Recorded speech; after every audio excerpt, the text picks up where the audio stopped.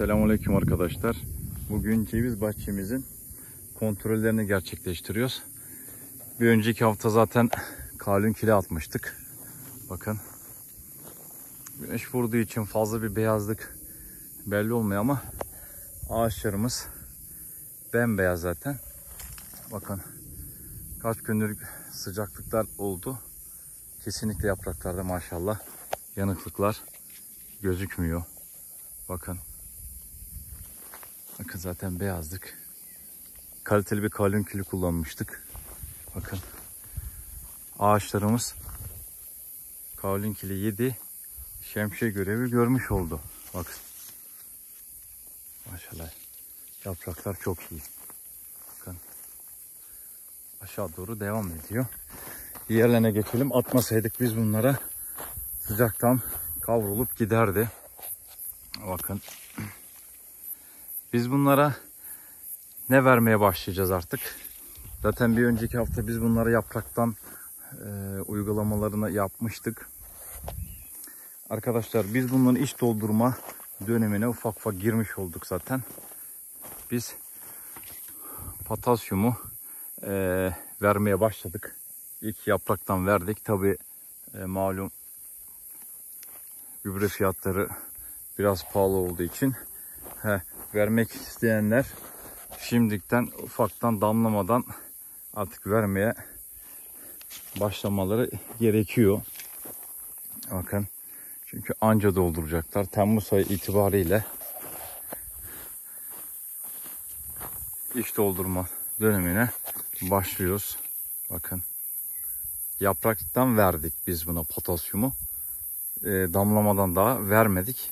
Bir sonrakinde de artık damlamadan vermeye başlayacağız. Haziran ayı artık iş doldurma dönemin başladığı zaman olduğu için tabi bizim bölgemize göre bölgeden bölgeye değişebiliyor. Bakın. Kalibre olarak iyi. Bakın.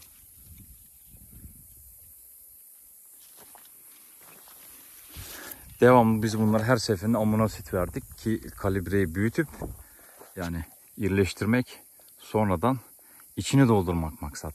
En mantık, mantıklısı çünkü o şekilde ilerlemesi gerekiyor. Bakın. Yani şimdi toprağın pH'i yüksek olanlar potasyum sülfat kullanabiliyor. Ee, normal ve aşağıda ise zaten e, potasyum nitrat kullanabilir. Ben ne kullanacağım? Benim biraz pH'im az bir şey fazla olduğu için ben e, bu sene potasyum sülfat kullanacağım arkadaşlar. Çünkü pH bizler için çok önemli. pH'imiz e, yüksekse atılan gübrelerin, ilaçların bir etkisi olmaz. Çünkü ağaç alamaz. Hele toprak e, pH'i yani pH'la organik miktar düzenli değilse zaten attığımız hiçbir şey ağaç alamaz arkadaşlar bakın. Yapraklar gayet iyi. Sürgünler yeni yeni çıkmaya başladı zaten. Bakın ufak ufak sürgünler zaten bu aydan itibaren hemen belli etmiyor. Temmuz Ağustos gibi sürgünler kendini göstermeye başlar. Tabii biz bunu iç kurdu ilaçlamasına devam edeceğiz. Şimdi geçen hafta attık yağmur yağmadığı için biz bunların e, ilaçlamasını bir dahaki hafta yapacağız inşallah. İçine yine amonasitti e, işte yapraktan potasyumdu bunları vermiş olacağız. Bir öncekinde de zaten bir yağmurlardan öncesi de biz bunlara e, üre uygulamıştık. Üremizi verdik zaten. Diğer sulamalarda da ağaçlarımıza biz hayvan e, gübresinin şerbetini vereceğiz. Havuzumuz zaten yukarıda. Azotu ufak ufak vermemiz lazım. Mesela bir kere de azot vermek ağaçlar için pek sağlıklı değil. E, onun için devamlı her sulamada azotumuzu ufak ufak takviyeler halinde verip ağaçlarımız tam anlamıyla e, azotunu da almış olacak. Çünkü azotu tam ver bir kere de verdiğin zaman ağacı bir defa yüklenmiş oluyorsun. Bu sefer olmuyor. Ağaçlara azot verme şekli ufak ufak azar azar azot vermek aralıklarla. Doğrusu o çünkü.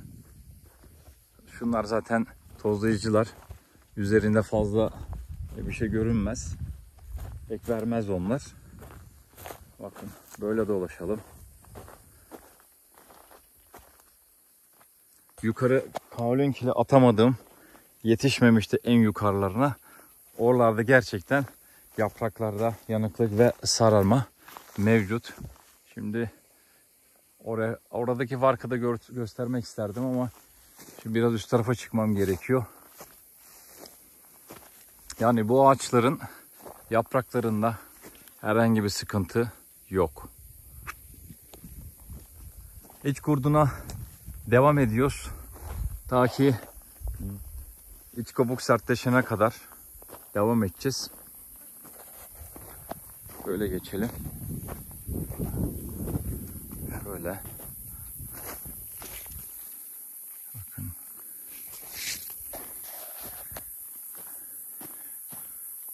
Şöyle bunlara da bir bakalım.